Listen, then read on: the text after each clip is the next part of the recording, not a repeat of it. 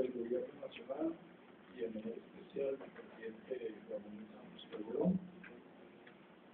Eh, quiero presentarle mi saludo fraternal a la señora Benita Ferrer Guardia, presidenta de la Fundación Euroamérica y, mm, y Fundación Unión Europea América Latina y Caribe, EBLAC, y es comisaria de Relaciones Exteriores de la. Igualmente mi saludo fraternal a la doctora Clara López Obregón, alcaldesa mayor de Bogotá, al señor Rodrigo Chávez, director regional para América Latina y el Caribe del Banco Mundial, al honorable señor Juan Carlos Ramiro, jefe de la misión de la Comisión Económica para América Latina y el Caribe, CEPAL, al honorable eurodiputado José Ignacio Salafranca Sánchez Neira, copresidente de la Asamblea Parlamentaria Euro-Latinoamericana, la honorable señora Pastor, vicepresidenta del Parlamento Español, al doctor Orlando Sardi de Lima, embajador de Colombia en España, a la doctora Marcela Pietro, directora ejecutiva del Instituto de Ciencia Política de Nota al doctor Augusto García, director de Corta Magdalena, embajador de, de Colombia en España, a todos los amigos y amigas asistentes a este segundo foro Colombia Unión Europea, delegados de los diferentes países europeos, eh, a todas las personas de los medios de comunicación, a los invitados especiales, todos ustedes, amigas y amigos.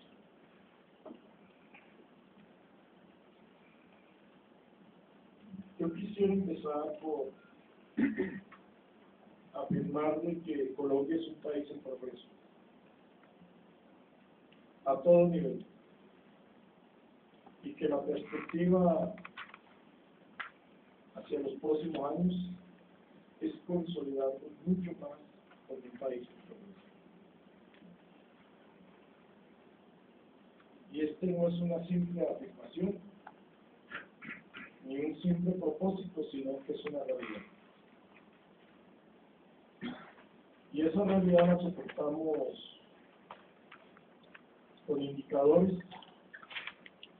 con cifras.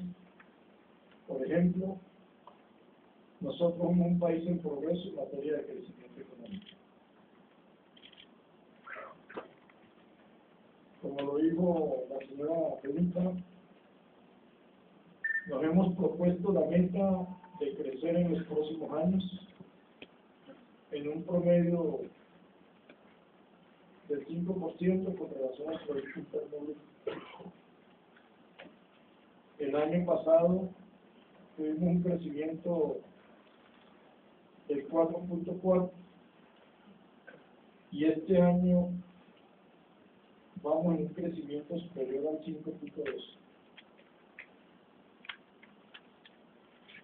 Todo parece indicar que al final del 31 de diciembre del año 2011 estaremos por encima del 5%. Y esa será la perspectiva para el 2012. Y esa será la perspectiva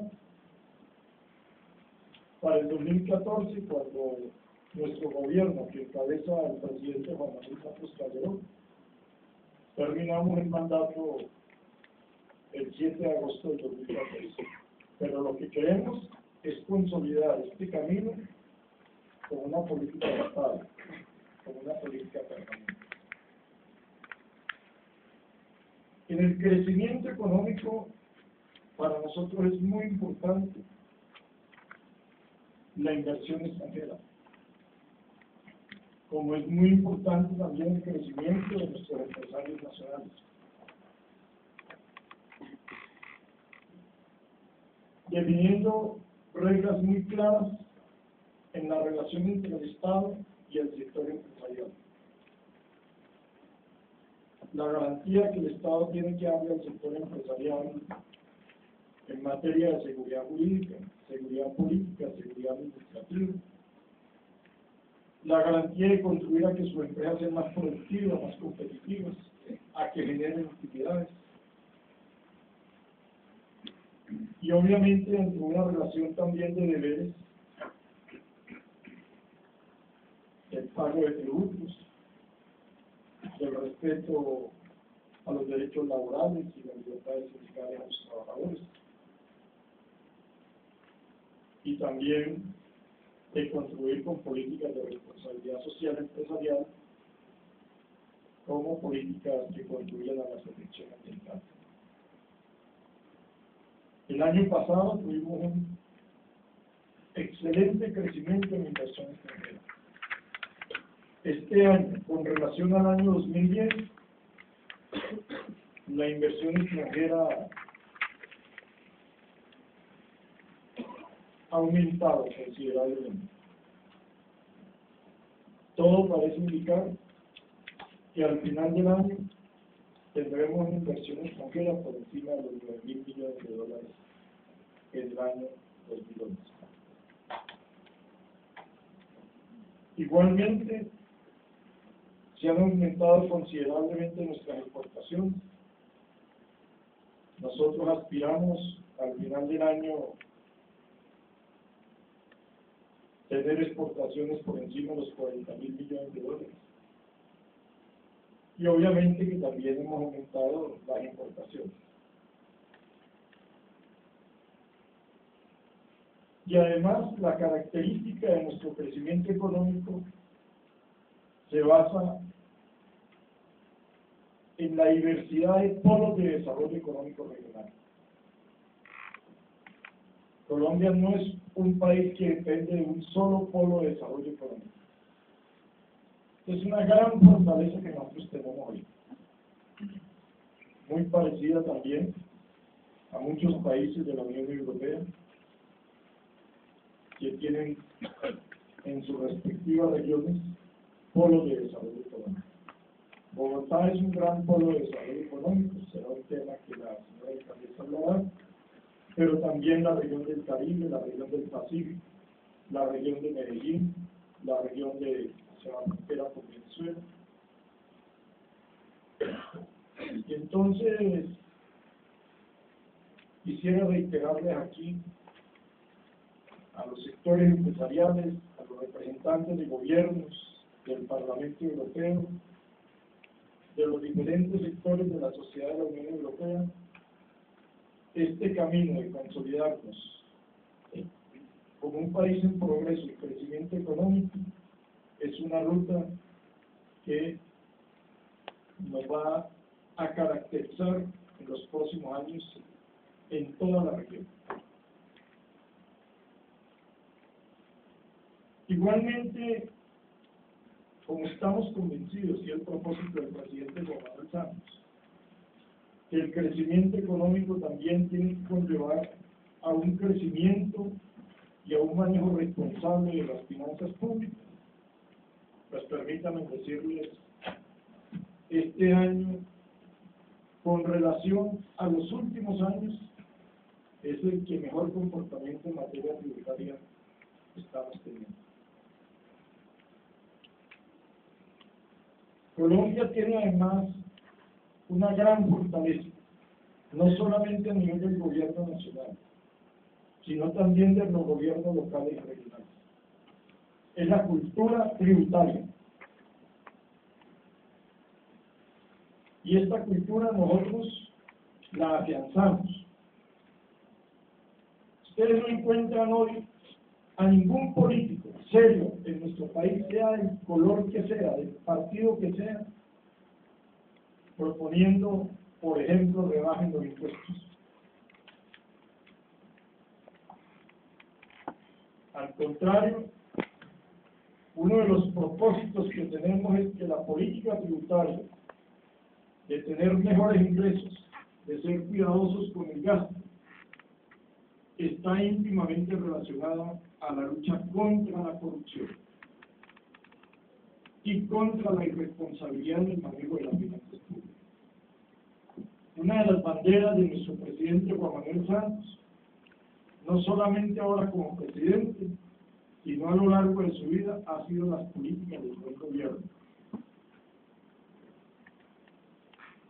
Y un eje fundamental del buen gobierno es tener claro que el patrimonio público es un bien colectivo.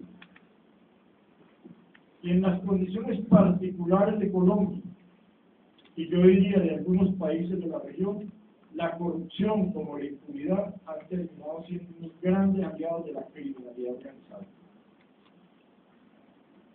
Aquí tenemos que combatir con la misma fuerza a los grupos armados ilegales, llamen guerrilla, bandas criminales, narcotráfico, delincuencia común. Con esa misma fuerza tenemos que combatir también la corrupción y la impunidad porque han terminado siendo aliados entre ellos.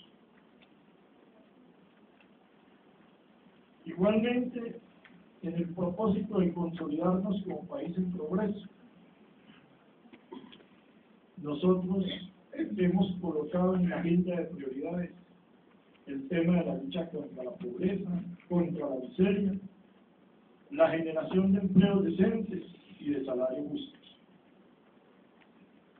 Permítanme decirles, no ocultamos, no lo hemos ocultado, y el presidente de la República y ningún otro alto funcionario del gobierno de que somos uno de los países con mayores niveles de identidad social. Partimos de aceptar esa realidad para afrontarla porque tenemos como meta disminuir los niveles de pobreza y de miseria. Porque estamos convencidos que así como la violencia, la criminalidad organizada es contraria a la democracia, también consideramos que es contrario a la democracia, la pobreza y la miseria. Y una de las prioridades que tenemos en nuestro gobierno es la generación de empleos. Empleos decentes, de salarios justos. Nos hemos propuesto al final de nuestro mandato llevar el desempleo a un dígito, posiblemente un 8% recalcando además la necesidad de disminuir el desempleo juvenil y el desempleo femenino. Los datos recientes, de hace cuatro o cinco días, de nuestro Instituto de Estadística, nos, nos muestran que estamos avanzando por el camino aceptado. Hoy la tasa de desempleo un 10.1 nosotros venimos en un proceso desde el gobierno anterior luchando por disminuir el desempleo. Y hemos bajado indicadores que teníamos del 17 al 18, hoy estamos en el 10.1. Y reconociendo que tenemos avance, somos conscientes de que aquí necesitamos hacer un esfuerzo muy grande el gobierno nacional, los gobiernos locales y regionales, conjuntamente con el sector empresarial, para seguir en esa línea de conducta. Recalcando cada día más de la importancia del empleo decente, que sigamos avanzando en la lucha contra la precarización del empleo y obviamente por salario justo. En esa misma línea de conducta, nosotros tenemos no solamente el Estado, la sociedad colombiana, una lucha frontal contra la criminalidad organizada. Llámese como se quiera llamar. Llámese guerrilla, bandas criminales, narcotráfico, delincuencia. Aquí no se trata de qué grupo ilegal es más malo y cuál es menos malo. Aquí se trata de que ellos son contrarios a la democracia. Aquí se trata de entender que violencia, terrorismo, criminalidad organizada es contrario a la democracia.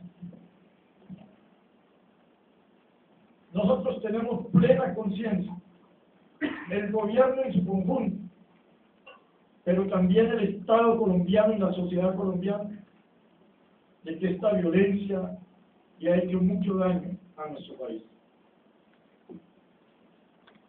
y que como ha dicho el presidente Juan Manuel Santos, por la razón o por la fuerza, se tiene que acabar. La lucha contra la criminalidad organizada presupone lucha militar, presupone lucha judicial y presupone lucha política. Siempre en el marco de respetar los derechos humanos y el derecho internacional humanitario. Y presupone, desde el punto de vista político, tener plena conciencia en la sociedad de que la violencia es el principal enemigo de la democracia, como lo es también la pobreza y la miseria, como la corrupción y la impunidad. En ese sentido, somos conscientes que a pesar de los esfuerzos que ha venido haciendo el Estado colombiano, desde los gobiernos anteriores, el gobierno, por ejemplo, del presidente Álvaro Uribe, todos los esfuerzos que venimos haciendo en cabeza del presidente Juan Manuel Santos Calderón, nosotros todavía tenemos conciencia que las organizaciones armadas ilegales tienen capacidad de hacer daño.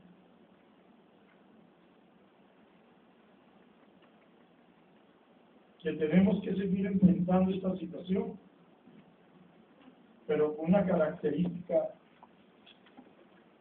que es esencial en la democracia colombiana. Nosotros hemos enfrentado la criminalidad organizada, el terrorismo, sin limitar o recortar ni un solo derecho fundamental de la población. Respetando integralmente la política de derechos humanos. Respetando integralmente las normas del derecho internacional humanitario.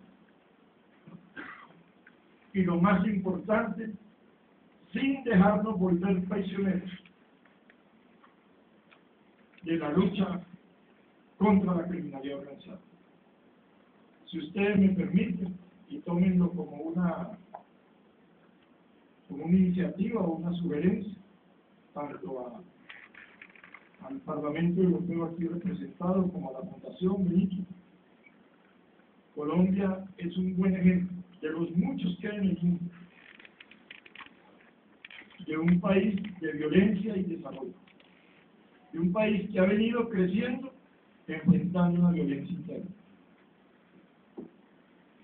En las normas de la democracia. Si ustedes me permiten, y no quiero ser prepotente con esto, ni que suene prepotente, pero nosotros somos un muy buen ejemplo que la lucha contra el terrorismo, contra la criminalidad organizada, es con democracia y más democracia.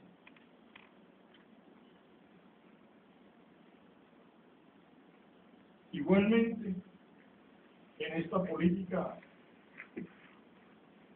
hemos colocado y somos un país en progreso y estamos dispuestos a, discutir con cualquier institución a nivel nacional e internacional, con cualquier gobierno nacional o internacional, con cualquier organismo, incluyendo organismos importantes de la sociedad civil y de la comunidad internacional.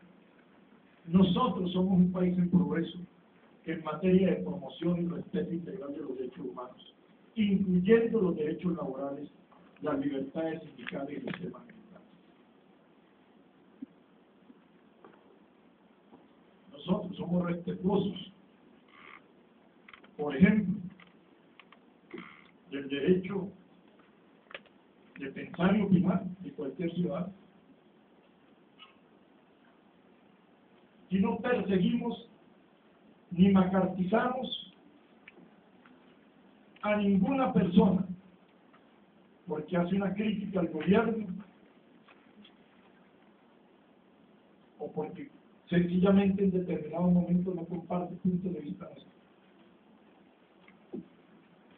¿Qué es lo que pedimos? Un debate menos ideológico y un debate mucho más en la democracia.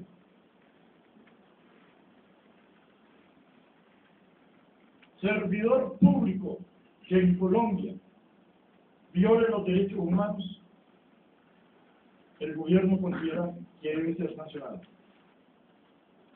Servidor público que en Colombia violenta las normas del derecho internacional humanitario, el gobierno considera que debe ser sancionado. Persona que en Colombia, por una u otra razón, contribuya a la actividad de las organizaciones armadas ilegales, creemos que debe ser sancionada. Esas son reglas universales de la democracia. Nosotros, como Poder Ejecutivo, no somos jueces. Nosotros estamos pidiendo a nuestros jueces frente a justicia, lucha frontal contra la impunidad. Hemos avanzado considerablemente, pero permítanme decirles, todavía creemos que en materia de justicia necesitamos mejores indicadores. Pero los únicos que en una democracia pueden mandar criminales a la cárcel son jueces. Y obviamente que la postura del gobierno nacional es fortalecer nuestro aparato de justicia, es fortalecer la autonomía de la justicia y es obviamente contribuir a que haya pronta justicia, a que haya mejores indicadores y que cualquier criminal sea sancionado y mandado a la cárcel. No hay una sola persona en nuestro país que mirándonos a los ojos nos pueda decir ustedes nos están persiguiendo por nuestra manera de pensar. No hay una sola persona que mirándonos a los ojos en nuestro país pueda decir, el gobierno me persigue porque yo trato de crear un sindicato o, crear, o trato de crear una asociación. Al contrario, desde el gobierno venimos trabajando la pedagogía integral de los derechos humanos. Por ejemplo, en el mundo del trabajo diciendo que los derechos humanos son también de los empresarios como son también de los trabajadores. Desde el gobierno venimos trabajando el respeto a la, a la diferencia, a la diversidad.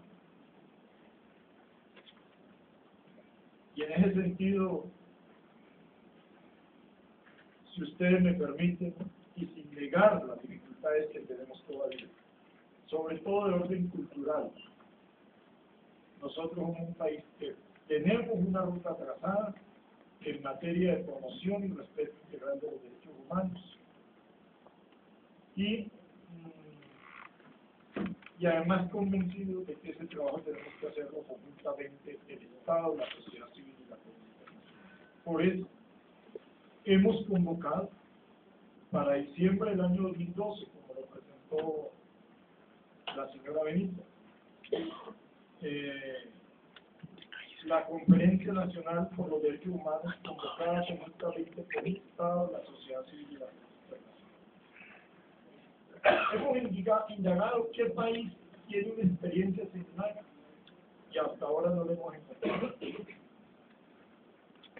Es un proceso complejo, difícil, porque es un proceso tripartito, concertado, con un solo propósito, el propósito de avanzar en la creación de políticas públicas en materia de derechos humanos y obviamente de consolidar una institucionalidad con participación de la sociedad civil y acompañamiento de la comunidad internacional en materia de derechos humanos. No negamos los problemas, no es fácil, permítame decirlo, desarrollar una política de promoción y respeto integral de los derechos humanos en medio de una lucha contra grupos armados ilegales que tienen capacidad de hacer daño, que tienen capacidad todavía de asesinar a algunas personas. Ustedes posiblemente, los delegados extranjeros, las personas de nuestro país han visto el horror del secuestro de una niña, la niña Valentina, hace cuatro o cinco días, en la región de Arauca, frontera con Venezuela, hija de un alcalde de un municipio, una niña de 10 años. O han visto posiblemente con horror el asesinato de algunos candidatos a las corporaciones públicas en las elecciones del próximo 30 de octubre. O han visto con horror algunos atentados terroristas en algunas regiones. Pero permítanme decirles, son hechos aislados. Son hechos que no van a detener esta ruta de un país mejor, de un país en progreso. Nosotros hoy le garantizamos al 100% de la población de Colombia que en las elecciones del 30 de octubre, cuando se van a elegir alcaldes y alcaldesas, gobernadores y gobernadoras, integrantes de corporaciones públicas regionales, en el 100% de nuestros municipios se van a realizar estas elecciones, tanto en la parte urbana como rural. Y desde el Estado estamos diciendo cero compra y venta de votos, cero prácticas ilegales. Desde el Estado estamos diciendo el gobierno no tiene candidatos ni candidatas, que la población vote libre y soberanamente por la persona, hombre o mujer, que mejor puede conducir su municipio, su región, porque al final de cuentas lo que se trata es que la población requiere buenos gobernantes. Y al final los buenos gobernantes no lo define un rótulo político, sino una postura frente al bien común, frente a la democracia. Por eso quiero reiterarle una vez más a los integrantes del Parlamento Europeo, de los gobiernos europeos, de lo que se trata es que sigamos consolidando esta ruta. De lo que se trata no es que nos estén mirando si hoy tenemos un muerto más o un muerto menos. De lo que se trata es que ustedes tengan plena conciencia que hoy tenemos un Estado, un gobierno que quiere consolidar a Colombia como un país libre de cualquier hecho de violencia o de criminalidad y obviamente manifestarles que el terrorismo, como el narcotráfico, son delitos transnacionales que requieren mucha cooperación entre los Estados. Igualmente, nosotros hoy tenemos una agenda internacional basada en la relación de cooperación y amistad con todos los países del mundo, empezando por la región. de entendimiento. Si ustedes me permiten, menos ideología y más temas comunes a los pueblos. Esa es nuestra política internacional. Y obviamente una política donde defendemos valores universales de la democracia. Por eso, en toda esta perspectiva, le damos tanta importancia a los acuerdos comerciales, a los tratados de libre comercio. Si ustedes me permiten, no es posible hoy consolidar esta ruta de país en progreso, de crecimiento económico y de mayor democracia social, si al mismo tiempo nosotros no avanzamos en la construcción de acuerdos comerciales y tratados de libre Hemos puesto en vigencia a partir del 1 de agosto pasado el acuerdo con Canadá. Hemos puesto en vigencia desde agosto también el acuerdo con Suiza. Queremos que tanto en el Parlamento Europeo como en el Parlamento colombiano se apruebe el Tratado de Libre Comercio, el acuerdo comercial con, con la Unión Europea y Colombia. Estamos trabajando porque el Tratado de Libre Comercio de Estados Unidos y Colombia se apruebe en este mes de octubre. Vemos positivo que el presidente Obama lleve en los próximos días el proyecto del Tratado de Libre Comercio con Colombia, Panamá y Corea del Sur. Si ustedes me permiten dos reflexiones. Primero, son acuerdos comerciales individuales le conviene a la economía y al empleo, por ejemplo, en el caso del acuerdo comercial entre la Unión Europea y Colombia, a la economía del empleo de Europa, pero también nos conviene nosotros. Y en ese acuerdo, ambas partes, con, el de Estados Unidos con, con el de Canadá, hemos incluido la cláusula de los derechos humanos, incluyendo los derechos laborales y la libertad sindical y los temas ambientales. Si ustedes me permiten, y lo digo para abrir una reflexión o un debate en la democracia con los que se oponen a estos tratados de libre comercio o acuerdos comerciales. El mejor camino hoy para avanzar en una política de respeto a los derechos humanos, a los derechos laborales y a las libertades sindicales son los acuerdos comerciales. ¿Por qué se comprometen mucho más los empresarios? ¿Por qué se comprometen mucho más a los gobiernos, a la estructura del Estado? Porque eso nos reafirma que en el mundo hoy se globalizaron los negocios, pero también se globalizaron los derechos humanos incluyendo los derechos laborales, la libertad sindical y los temas Con todo respeto, con todo cariño, nos parece que es volverse prisionero del remolino del pasado. Cuando algunas personas consideran que porque no hemos llegado al estado ideal, entonces, por ejemplo, no se debe aprobar el Tratado de Libre Comercio entre Estados Unidos y Colombia o entre la Unión Europea y Colombia. Nosotros no nos podemos comprometer a decir que en Colombia nunca habrá más un asesinato.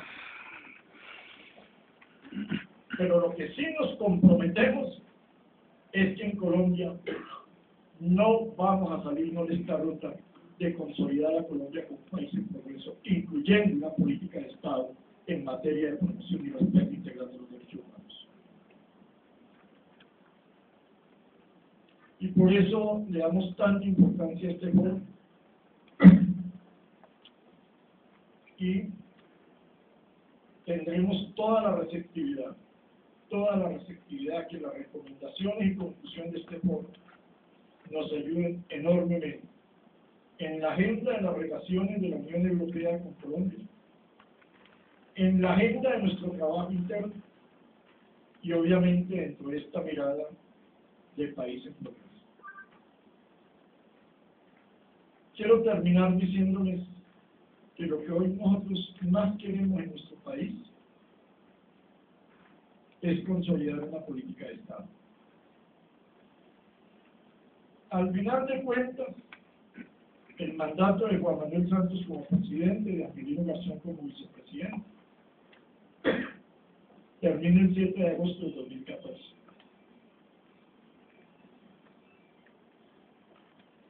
Nosotros, ¿qué queremos en cabeza del presidente? Hacer bien la tarea del gobierno. ¿Qué más queremos? Contribuir a que nuestros gobernantes locales y regionales hagan bien la tarea del gobierno, más allá si votaron o no votaron por nosotros. ¿Qué más queremos? Queremos fortalecer toda la institucionalidad del Estado colombiano. ¿Qué más queremos? Queremos afianzar la unidad del Estado y la sociedad civil. ¿Con qué propósito? De luchar todos los días por un país mejor. De luchar todos los días porque la población tenga el derecho a vivir en bienestar, en tranquilidad y en paz y de luchar todos los días para que el Estado pueda cumplir mejor ese deber. Por eso, nosotros no digamos una perspectiva de verdad y justicia para reparar a las víctimas de la violencia, de perdón y reconciliación y de paz. Estamos dando pasos importantes. Primer paso, aprobar la ley de reparación a las víctimas de la violencia, de restitución y titulación de tierras. En esa tarea estamos ahora. volver una realidad esa ley en los próximos 10 años. ¿Qué más hemos dicho? Lo ha dicho el presidente Juan Manuel Santos. Nosotros hoy no hemos cerrado las puertas de la paz, pero ponemos unas condiciones. Libertad sin condiciones de todas las personas secuestradas. Cese en la práctica del secuestro y el terrorismo. Cese en la práctica criminal de las minas antipersonales. Pongan en libertad niños y niñas y adolescentes que han reclutado forzosamente y tomen la decisión que más quiere el pueblo de Colombia. Cesar todos estos hechos de violencia, de terrorismo, de criminalidad organizada. Si lo hacen, el presidente Juan Manuel Santos tendrá toda la generosidad para construir caminos de perdón, de reconciliación y de paz. Si no lo hace, nosotros tenemos un deber. El deber de garantizarle a la población de Colombia, en el marco de la Constitución Política Nacional, el derecho a vivir en bienestar, en tranquilidad y en paz y por lo tanto el deber de combatir la criminalidad organizada.